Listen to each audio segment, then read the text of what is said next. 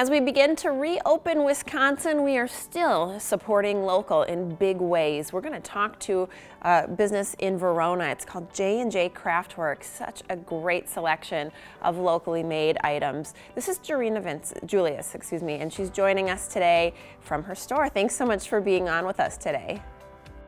Well, thank you, Jessa, uh, for having us again. And uh, we are happy to be here, and it's uh, we are happy to be here.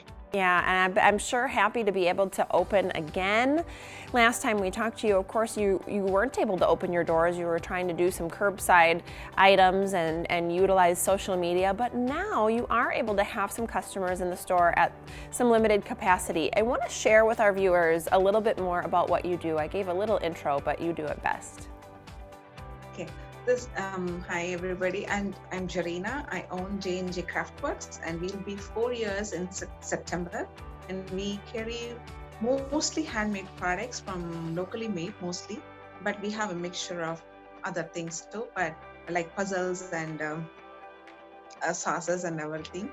And um, currently, we are doing curbside pickup, and uh, our doors are open anytime if people wants to come in and shop, but uh, we are restricting that. I hope in July we can full-fledged open our doors, but currently we are doing because safety is our first concern, so we are waiting and uh, taking it slowly. Okay, very good. Now you have lots of fantastic products there. I can see some in the background. I want to talk first though about 608 Day because this is something that you're celebrating right now. Of course, for our viewers watching, uh, that's going to be ended by the time you're seeing this interview. We're going to do something special for you. But tell us about 608 Day and what you're offering. 608 Days is like um, organized by Visit Madison and they are celebrating for the area code 608 and uh, we are the second year in the row and we are participating. Um, we are doing 20% off everything from the store any product this whole week. Um, and uh, but there is a uh, surprise like when you guys are watching this we will extend that. If you tell us that you saw us on tv and we will extend that offer to you guys. 20% off anything any product from our store. And um, um, we have specially made a buff scarf for six or eight days and it's made for us. I'll demonstrate how it works. This is like this and it's written as X608 and it stays like this. It is not, the ears are perfectly covered and it won't hurt anybody when they are wearing it. And when you're done, you can just pull it out, pull it down and it be stays in your neck and keeps you cold, uh, hot, warm actually. But the material is very soft. So it's it's super lightweight. And you can use it as a headband too like oh what a cute idea.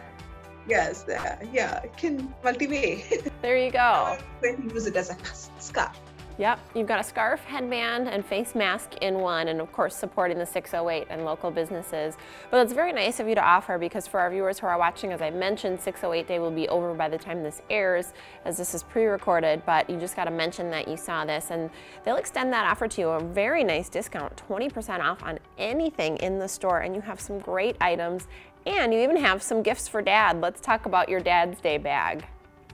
Yes, um, so we have a a cute package for Happy Father's Day, and it comes with three face masks, and which is Badger, show you, Badger, Packers, and Brewers face mask inside this bag, and it's thirty dollars. So um, again, if you uh, want to use that uh, TV code, and we will honor the 20% off from this $30 also. And we have specially um, brought um, Stonewall Kitchen steak sauce, grilled sauce, barbecue sauce, just for Father's Day.